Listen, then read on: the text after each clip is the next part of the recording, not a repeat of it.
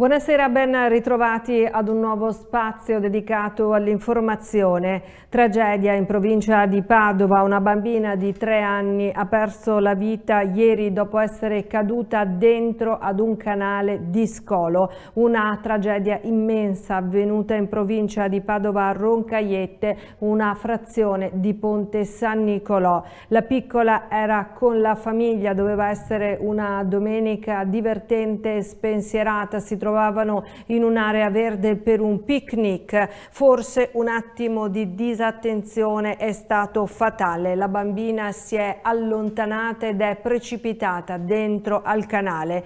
Nonostante l'immediato intervento da parte dei presenti e la corsa disperata del padre, la bambina non ce l'ha fatta. Sul posto è intervenuto il 118, i sanitari l'hanno trasportata al pronto soccorso dell'ospedale pediatrico ma poco dopo è avvenuto il decesso. Sul posto assieme al 118 sono intervenuti anche i carabinieri della compagnia di Piove di Sacco. E quello che è appena terminato è stato un weekend tragico sulle strade del Veneto, ancora una volta. Purtroppo ci sono state delle vittime, allora apriamo parlando con una tragedia della strada avvenuta a Maserà in provincia di Padova, perdere la vita una ragazza di 19 anni. Chiara Scantamburlo aveva solo 19 anni. La giovane donna di Sant'Elena d'Este, in provincia di Padova, è morta in uno scontro avvenuto tra la sua auto e un'altra macchina. L'ennesima tragedia della strada che ha strappato la vita una giovane donna. L'incidente è avvenuto nella notte tra sabato e domenica a Maserà, in provincia di Padova. Sul posto sono giunti numerosi soccorritori. Il personale del SUEM ha tentato la rianimazione a lungo, ma purtroppo i tentativi sono stati vani. L'incidente ha provocato delle lesioni mortali. Alla guida dell'altra auto un uomo che è stato portato all'ospedale. Sul posto sono intervenuti i carabinieri che hanno eseguito i rilievi e dovranno ricostruire l'esatta dinamica del terribile schianto. E purtroppo il bilancio si è aggravato poche ore dopo questo incidente con un'altra tragedia della strada, questa volta avvenuta a Piove di Sacco, a perdere la vita un uomo di 44 anni. Gravissimo il bilancio di un altro incidente avvenuto sulle strade del Veneto. Lungo la provinciale 93 a Piove di Sacco, tra via Scardovari e via Vecellio, si sono scontrate due macchine. Nell'impatto ha perso la vita un uomo di 44 anni, Andrea Zinelli. Ferita la conducente dell'altra macchina, la donna è stata stabilizzata sul posto e poi trasferita all'ospedale. La strada è rimasta chiusa a lungo. La vittima viaggiava a bordo di una Fiat. Per portare all'esterno dell'auto il 44enne sono intervenuti i vigili del fuoco. I sanitari hanno solo potuto constatare il decesso. Valentina Boscaro, la donna che ha ucciso il suo fidanzato, è stata condannata a 20 anni di carcere. La sentenza è arrivata oggi al termine del processo d'appello nell'aula bunker a Mestre. La sentenza eh, conferma in primo grado, più o meno con una differenza di qualche anno, ciò che era emerso in primo grado. Valentina è accusata della morte di Mattia Caruso, omicidio avvenuto alle terme mentre i fidanzati erano in automobile in un parcheggio. Proprio dentro quell'auto Mattia Caruso era stato colpito da un coltello al petto. E adesso torniamo a parlare di un altro omicidio, quello di Giulia Cecchettin. Scioccanti le dichiarazioni diffuse in questi giorni sulle parole di Filippo Turetta. Sono agghiaccianti e irripetibili i dettagli emersi dalle dichiarazioni rese da Filippo Turetta, il trentenne che ha barbaramente ucciso Giulia Cecchettin. Parole che sono state diffuse dalla trasmissione Quarto Grado e ripetute da numerosi organi di stampa. Frasi che fanno rabbrividire e che portano con sé tutto l'orrore di quella notte, a quanto pare senza un briciolo di pentimento. Frasi che mostrano la crudeltà criminale di un ragazzo che ha agito con la consapevolezza di quello che stava facendo. Filippo Turetta sarà in aula il 15 luglio. Un uomo senza tetto è rimasto ferito nell'incendio di un garage, è successo a Cavarzere in via Cavour. L'allarme è scattato nel cuore della notte quando alcune persone si sono accorte delle fiamme. Sul posto sono intervenuti numerosi vigili del fuoco e forze dell'ordine. Immediato l'arrivo anche del SUEM 118, i sanitari hanno trasportato il ferito all'ospedale. La causa di questo rogo è da ricostruire.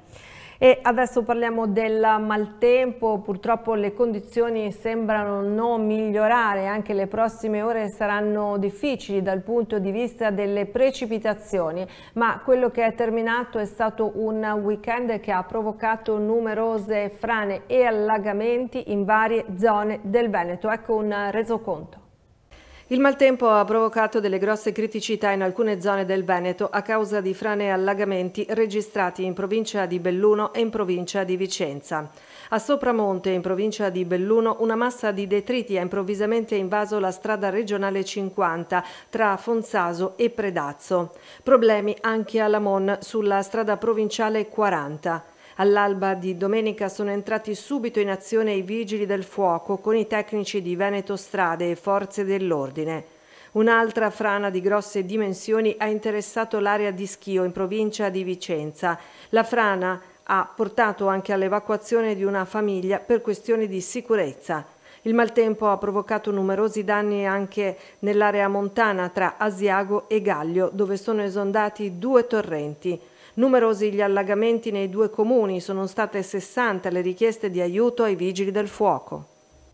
Controlli e pattugliamenti straordinari a Vigonza in provincia di Padova dopo i recenti furti. Visti i tentativi e i furti andati a buon fine in queste notti, dice il sindaco, ha avuto un confronto con l'arma dei carabinieri e il comando della compagnia provinciale. Ha disposto una serie di controlli e pattugliamenti straordinari sul nostro territorio. Così il sindaco Gianmaria Boscaro commenta le notizie di nuovi episodi di furti e i danni di concittadini. Stiamo verificando, aggiunge anche le riprese registrate dalle telecamere di videosorveglianza e i varchi di lettura targhe comunali per segnalare eventuali macchine con targhe sospette. Abbiamo notato, dice ancora il sindaco, che i ladri cercano di evitare proprio gli accessi stradali arrivando dalle dalle campagne per non farsi riconoscere dalle telecamere. Quindi raccomando massima allerta per i proprietari di case isolate o con accesso da argini e campi perché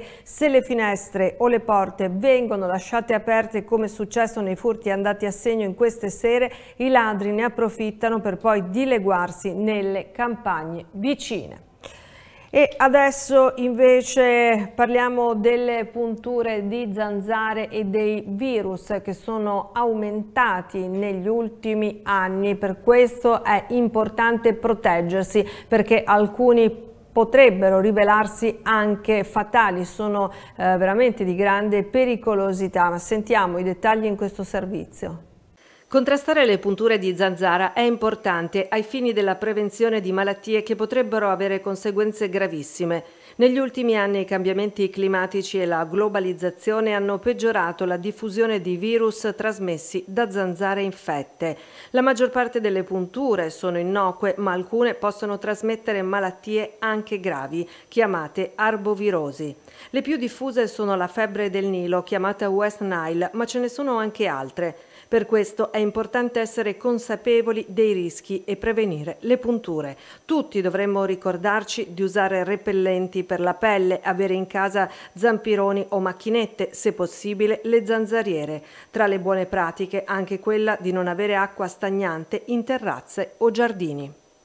E adesso un'altra notizia, ci spostiamo in provincia di Padova, andiamo a Corte di Piove di Sacco dove ieri sera alla Sagra erano presenti i Jukebox Boys di Arzer Grande, protagonisti per una serata di musica e solidarietà.